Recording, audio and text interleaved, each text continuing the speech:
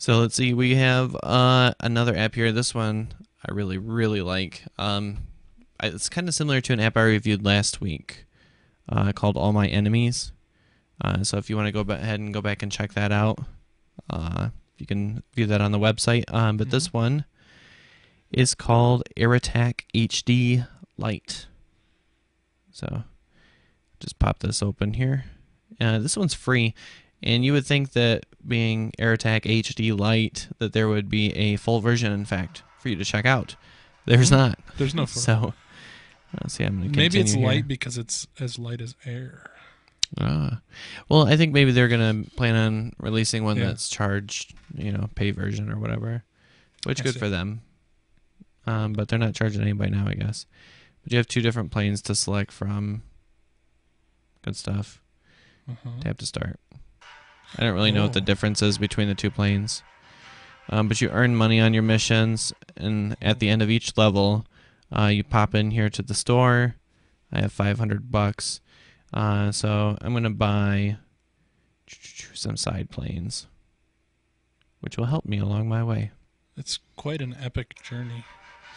So, but everything on here is kind of 3D ish. Oh, you know and they have that same Ooh. mechanic as all my enemies where you drag your thumb around to aim uh-huh. or you can tap on a certain part of the screen and it'll uh, it'll jump clear over there um, but they also have it where you can uh, control the the uh, the plane like it changes the controls just a little bit so that it's not uh, specific on the screen like it is like if I have my thumb in one place on the screen I see. the plane's always going to be in that place It's more of like a trackpad kind of thing. yeah, and they have another one that makes it relative, so Yeah. uh, you're treating it more as like a joystick instead of a trackpad that's kind of enhanced with the side scrolling that this has. Uh-huh. So So that I gotta go up here pretty and much Tap like that to, to drop to- bombs. Oh, okay.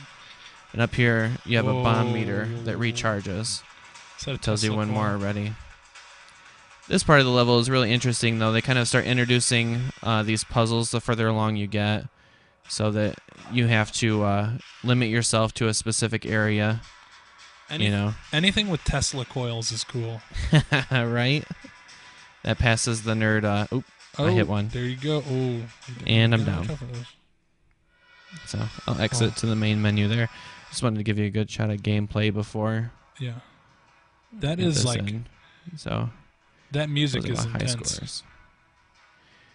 Um, but let's see. Here in the settings is where you can change your uh, controls. I am on touch, but relative touch again Ah, is yes. different. Joypad or tilt, so you can control it with your phone. Mm, know. It's a little bit too gimmicky. I like Yeah. this touch interface. Yeah, it's pretty cool. Um, so music volume and effects volume, and buttons layout. So a couple different options there. Um, but it, it does nice. It keeps uh it keeps your place even if you die and you crash like that. Mhm. Uh, you don't have to go back and completely uh, nice. beat all the first levels again or whatever. How nice of them. Um, but I'm sure you just uh. Oh no! Let's see. Oh, it picks it picks it up at the last place. So I have to go back and buy the side planes again and everything. And it has my score and money from when I last had that checkpoint. But then I have to go back through and beat this whole level again, which I'm not going to do right now. So it's good stuff right there. It's free. It's a pretty awesome game. I love the graphics on this. Um, like I said, pretty similar to all my enemies, which some people uh, have have been playing now. It's getting a little bit more popular. Mm-hmm. Um, just a little bit uh, souped up, I think. Yeah. I, I like this one more, to be honest. That's So, cool. There you are. I like it. So if you like that last review, definitely check this out too. I do. do a lot. That game, like, it really has a lot of like nice touches to it. Yeah, there's uh there's like bridges that go across the river and there's a train that's uh coming carrying these huge missiles or whatever and you have to bomb the bridge so that the train doesn't make it through then you get points off of that.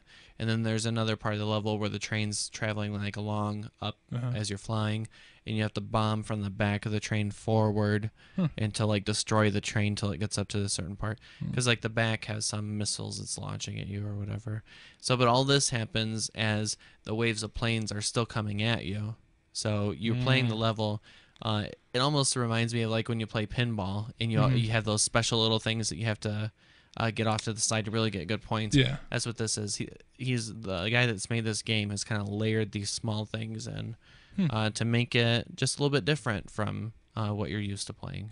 That's cool. I like it. So, yeah, it's my it's my new favorite.